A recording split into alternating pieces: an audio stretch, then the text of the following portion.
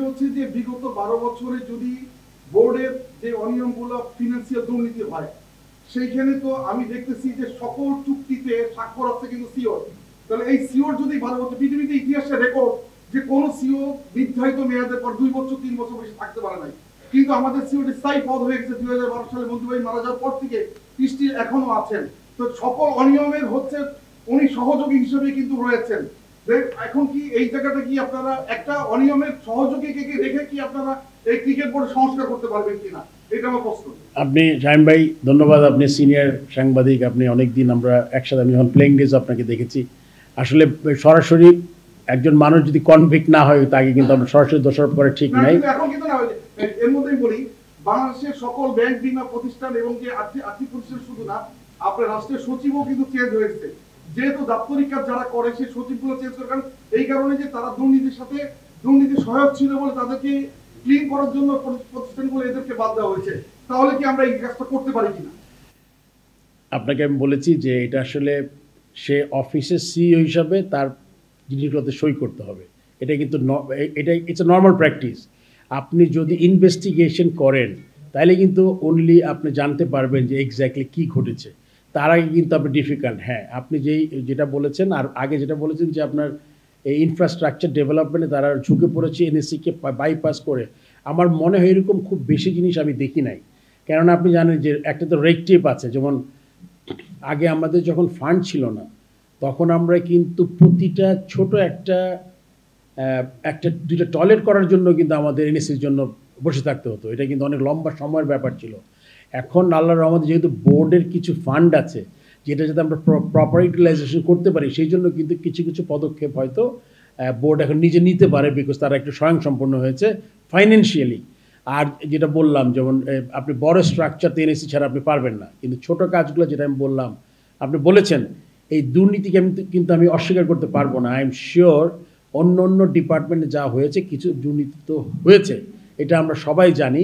এই জন্য যেটা আমরা, যাতে এটা আমরা ঠিক মতো দেখতে পারি, এই জন্য কিন্তু অডিট ফার্ম আমরা একটা, একদম যারা আগে করেছে তারা না, আমরা একটা শুরু করছি আমরা, যেটা মানে আমার যতটুকু ক্ষমতা আছে আমি বলব যে ওটা দিয়ে আমি চেষ্টা করব। আর আমার মনে হয় শাহিম ভাই এই মুহূর্তে হয় কি সব দিকে আপনি নজর দিতে পারবেন না, আপনার সব কিন্তু স্টেপ বাই স্টেপ যেতে হবে, আপনি একটা সিস্টেমকে ফাংশনাল রেখে কিন্তু এগোতে হবে। আই এম শিওর আমাদের সিইও অত্যন্ত এফিশিয়েন্ট আপনি যেটা বলেছেন যে অনেক দিন আছে একই জায়গায়। অ্যাট দ্য সেম টাইম সে কিন্তু তার মনে করেন যে বারো বছর আপনি বললেন সিইও সে কিন্তু very experience now and he can help but এখানেও যদি কোনো কিছু পাওয়া যায়, আমি বলছি না যে he will just get away but এটা ইনভেস্টিগেশন আগে আসলে সরাসরি না করলে ভালো হয়। মানে এটা আপনাকে আমি রিকোয়েস্ট করছি।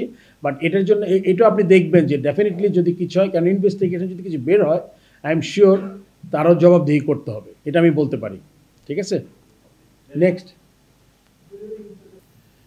আমি আসলে যেই হোমওয়ার্কটা করেছি, তাতে দেখা যায় আমার অ্যাটলিস্ট চারটা চারটা স্ট্যান্ডিং কমিটির ইনচার্জ হইতে হবে before if I get a chairman of that particular committee so cricket ops না করি, কিন্তু অন্য ফাইন্যান্স লজি লজিস্টিক আমাদের আছে ফাইম সিনহা আপনার কমার্শিয়াল এই ইম্পর্টেন্ট জায়গাগুলো।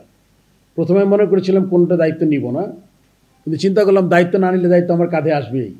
সো ইটস বেটার দ্যাট নিজের কাঁধে বন্দুক রেখে স্বীকার করি তাতে আমি যাতে নেই সো দ্যাট আমি অন্য কেউ কিছু করলে যাতে মানে আমার করতে না হয়। তো ইম্পর্টেন্ট জায়গাগুলো আমি চিন্তা করেছি, সবার সাথে আলোচনা করে আমার আমার কিছু পোর্টফোলিও আমার থাকবে বিফোর গেট সাম সামওয়ান এটি এখন প্ল্যান এই মুহূর্তে অ্যান্ড আমরা যত তাড়াতাড়ি সম্ভব করতে পারি, সেটা আমাদের ভালো ক্রিকেট অপস আসলে প্রেসিডেন্টের কিন্তু ডিরেক্ট একটা সম্পর্ক ক্রিকেট অপসের সাথে আছে বিকজ ন্যাশনাল টিম খুব ইম্পর্ট্যান্ট একটা জায়গা। আপনি, আমি আমি যদিও আমার কাজে আমি ন্যাশনাল টিমকে অবশ্যই ইম্পর্টেন্স দেই বাট আমার মনে আমার কাজটা আমি উপর থেকে না, নিচ থেকে শুরু করতে চাই। এটা হবে আমার কাজের ধরন। নিচ মানে কি? যেটা হলো গিয়ে গ্রাউন্ডস প্লেয়ার্স মানে যেখান থেকে প্লেয়ার আসবে পাইপলাইন কেননা আপনারা তো সবাই ন্যাশনাল টিমের দিয়ে ফোকাস আছেন। সো ন্যাশনাল টিমে খুব বেশি কিছু মানে অনিয়ম হওয়া ডিফিকাল্ট বিকজ এত ফোকাস ওখানে। তো সেই জন্য আমি বলছি যে ওইটা আসলে আমরা সবাই মিলে দায়িত্ব নিলে যারা আরও কিছু প্রফেশনালস আছে, আপনি জানেন, দুইটা ফর্মার প্লেয়ার আছে, যারা কাজ করছেন, একজন ম্যানেজার আর একজন cricket of team operations manager so তাদের হেল্প নিচ্ছি। যখনই দরকার হয়, যেমন আজকেও ম্যানেজারকে একটা কাজে ডেকেছিলাম, একটা ইনপুট নেওয়ার জন্য। সো আমরা যেই কজনই আছি, চেষ্টা করছি আমরা একসাথে মিলে কাজ করার। বাতিল হয়েছে, আপনি জানেন যে আমরা এই- মুহূর্তে এত বড় প্রজেক্টে এটা কিন্তু মন্ত্রণালয়ের একটা ব্যাপার থাকে। সো ওখান থেকে আমরা খুব বেশি হাও না নাও না আর যেহেতু সময় নেই এই জন্য আমাদের যেহেতু লাস্ট ডেট ছিল আগামীকাল সেই জন্য আজকে আমাদের করতে হয়েছে। যদি আমাদের সিচুয়েশন ইমপ্রুভ করে বা যদি আমরা মনে করি রিভাইজ করে কিছু করা যায় কি না তাহলে আমরা চেষ্টা করব ওইটা নতুন করে আবার কল করার জন্য। কিন্তু এটা এই মাঠটা আমরা দেখতে যাচ্ছি সবাই মিলে। তার কারণ হচ্ছে এখানে আমাদের যে যেটা আমরা বলছি যেই টাকাটা খরচ হয়েছে, আমরা চেষ্টা করছি।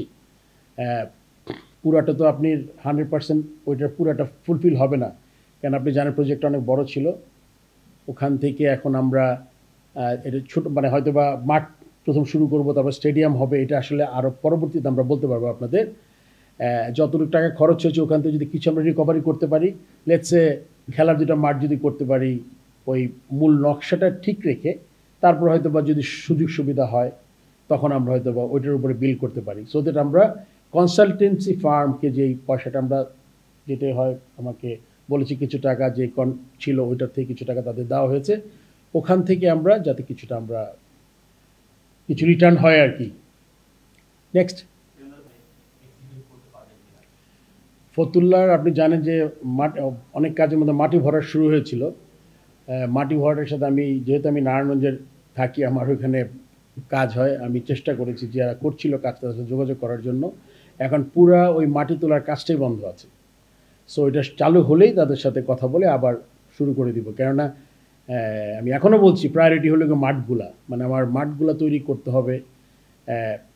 অনেক বড় বাজেটের না, যেটা হলে গিয়ে আপনার মাঠ উইকেট ড্রেসিং রুম যেটা খুব এসেনশিয়াল আপনি জানেন ম্যাচ চালানোর জন্য। তারপর আপনি infrastructure like gallery international match করার জন্য ওগুলো পরে। বাট ইনিশিয়ালি আমরা বেশ কিছু মাঠ ডেভেলপ করার চেষ্টা করছি। এটা একদম যত, এটা একদম খুব তাড়াতাড়ি এটা ফল দেখতে পাবেন আর